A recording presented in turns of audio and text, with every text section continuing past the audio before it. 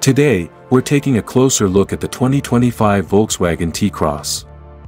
This compact SUV is designed to meet the needs of modern drivers, with a sleek and stylish exterior that is sure to turn heads on the road.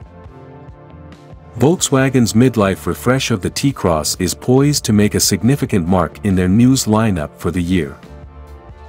The 2025 T-Cross is anticipated to receive updates aligning with European trends, with new features making their way to the front, rear, and interior.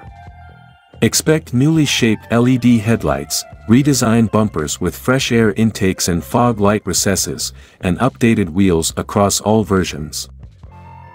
On the higher-end models, anticipate IQ light technology for the headlights, along with a grille featuring horizontal LEDs reminiscent of the Taos style. At the back, the headlights will showcase a revamped LED layout, accompanied by a similarly updated bumper.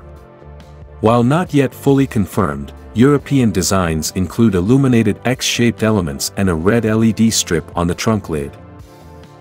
In Europe, Volkswagen has elevated the finish and incorporated a range of higher quality materials into the panel composition. Soft, intricate surfaces with simulated stitching replace the previous center bar element found in the Polo and Virtus. Additionally, the placement of the multimedia center has been repositioned for better user accessibility. Under the hood, engine options will remain unchanged. This means the 1.0 TSI engine will deliver up to 128 horsepower and 20.4 kgfm of torque, while the 1.4 TSI engine will provide up to 150 horsepower and 25.5 kgfm of power. The gearbox will continue to be a 6-speed automatic with front-wheel drive. There are rumors circulating about the introduction of an entry-level version equipped with a 116 horsepower 170 TSI engine. The 2025 T-Cross is set to hit the market in March. Overall, the 2025 Volkswagen T-Cross is a versatile and stylish SUV that is sure to impress.